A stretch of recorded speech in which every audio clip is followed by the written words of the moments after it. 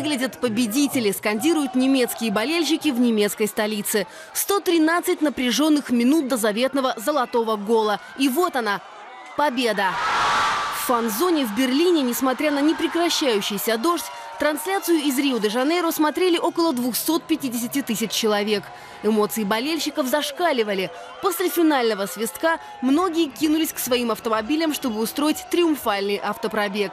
От такси до дорогих суперкаров. Центр Берлина быстро наводнили автоколонны. Стянулись десятки тысяч людей. Аналогичные народные гуляния этой ночью проходили по всей Германии. Германия, лучшая команда мира, Германия! Четыре звезды, четыре звезды, я вам говорю. Сверхгениально. Супер! Мы стали чемпионом мира в этом году! Ура! Это долгожданное золото немцев. В последний раз Германия получала Кубок мира 24 года назад.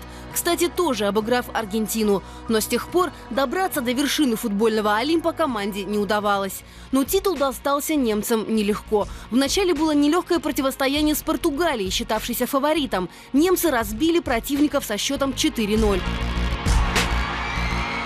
Четвертьфинале в игре с Францией героем стал вратарь Мануэль Нойер. Он сдерживал атаки серьезного противника. А в полуфинале немцы продемонстрировали высший пилотаж в триумфальной победе над сборной Бразилии со счетом 7-1.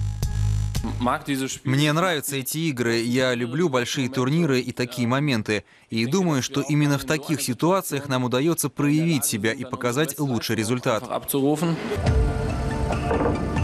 И это действительно удалось. Многие обозреватели отмечают, что немцы проявили себя сплоченной командой. Зрелой, сильной, физически подготовленной, техничной.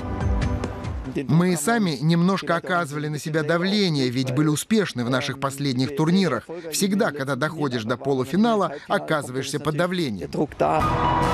Команда выложилась по полной и победила. Для болельщиков это двойной праздник.